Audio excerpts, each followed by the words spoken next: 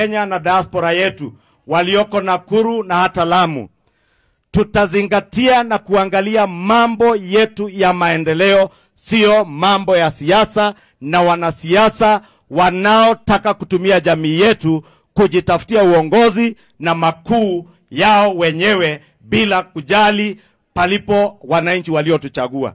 Ndio tumeungana leo tukiwa wabunge arobaini na nane tukasema vile wale wengine kutoka Meru, Embu na Tharaka Nithi walisema, tunataka kiongozi atakaye tuleta pamoja sisi wote, atusaidie kutuunganisha na serikali kuu kufuatilia miradi yetu ya maendeleo, barabara ziliyokwama, watu kuwekewa stima manyumbani kwao, shule zetu kustawi, watu kupata maji manyumbani, barabara zetu, ili tufanikishe yale mambo ambayo tuliwaambia wakati tuliwaomba kura, na tukasema kwa heshima, hatuna vita na mtu yeyote ama kiongozi yeyote, hata yule anayetaka kusimama urais mwaka wa 2027 pia yeye ni Mkenya, awe ni wa hapa, awe ni wa kwingine. Akitaka kuunda marafiki na marafiki wengine, atafute serikali nyingine.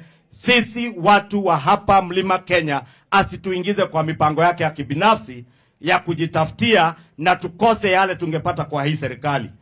Kwanza tuvune hii, ikifika 2027 nyinyi ndio wenye kusema, si nyinyi ndio wenye kusema? Nyinyi ndio mtasema, nyinyi ndio mtasema kama Faith Getawa amefanya kazi aendelee, si ndio?